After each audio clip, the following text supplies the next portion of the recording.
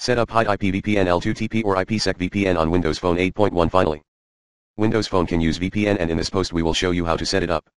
Article below is for all of you running Windows Phone 8.1 with GDR1, Update 1.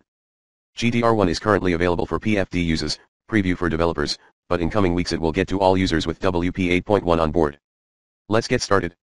First we will try to make your VPN a bit easier with showing you how to add VPN to your notification center, that you pull down from the top.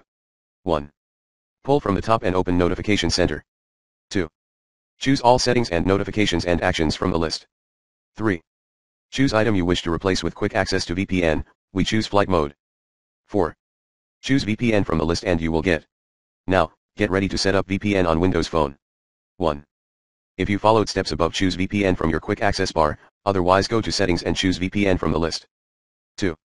Choose add to add new VPN profile. 3. Enter name or IP address of VPN server you wish to connect to, those can be found in client area under details of your VPN package. 4. Now it is time to choose VPN protocol for your connection. Make sure to choose L2TP with IPsec as with IKEV2 protocol you will not be able to establish working connection. 5. Now you need to choose type of identification to log into VPN server. Choose select an item and pick username and password and pre-shared key. Use your VPN login and password. Enter HIDE as pre-shared key. 6. If you plan on adding more than one VPN connection profiles, name your current one and click Save. You are ready to connect to our VPN network.